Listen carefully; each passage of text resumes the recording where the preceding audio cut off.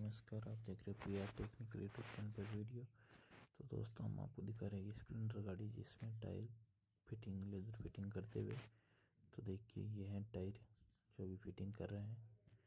तो दोस्तों, बने रहे हमारे यूट्यूब पे लास्ट तक और देखते रहिए ऐसे टेक्निकल वीडियो हम आपको अलग अलग बाइक के बारे में दिखाते रहेंगे।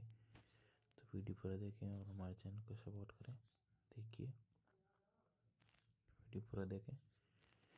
तो इसी तरह से वीडियो देखते रहें, देखिए। तो दोस्तों, वीडियो कैसे लगे वो कमेंट में लिख कर बताएँ और हमारे चैनल को सपोर्ट करें, देखिए। तो ठीक है दोस्तों, वीडियो पूरा देखने के लिए धन्यवाद और इसी तरह